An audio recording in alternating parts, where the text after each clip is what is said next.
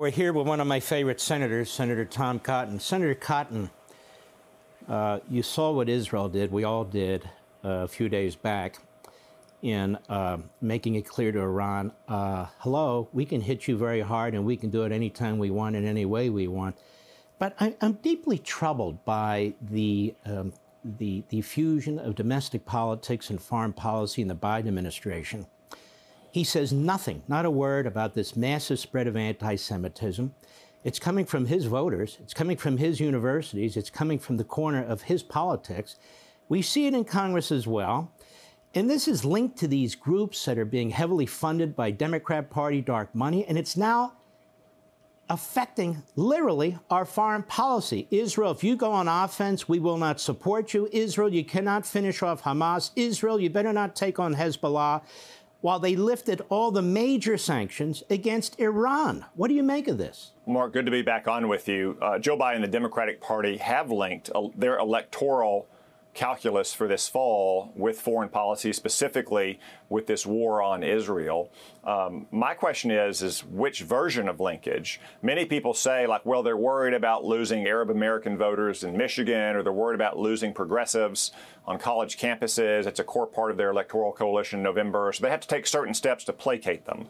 Uh, maybe that's true, but I fear what is really happening here is a second kind of linkage, is that they see those Arab American voters in Michigan. They see progressives on college campuses protesting and rioting, and they want to use that as a pretext to justify what they've always really wanted to do, what they wanted to do going back to the Obama era, which is get quote unquote daylight from Israel. So it's not so much that they're worried about reelection, as they're using those concerns about reelection as a pretext or a justification to finally take steps towards Israel and Iran that they've always wanted to do from the very beginning of the Obama Biden presidency presidency.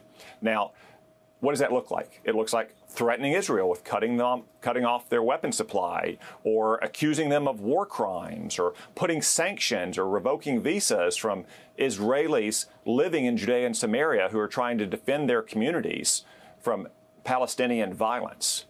It's exactly what you saw last weekend when Joe Biden urged Israel not to hit back after they'd been struck with 300 missiles and drones, saying that they should, quote unquote, take the win, immediately leaking those comments to the media to heighten the pressure on Prime Minister Netanyahu.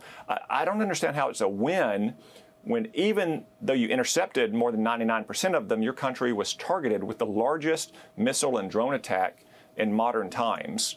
And the administration continues to pull its punches towards Iran as well. Going back to the beginning of the Obama administration, they wanted to elevate Iran.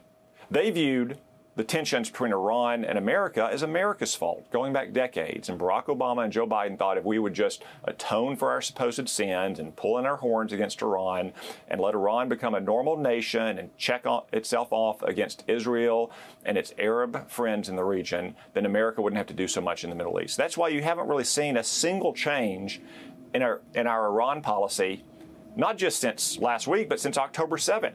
They let sanctions on missiles expire last month.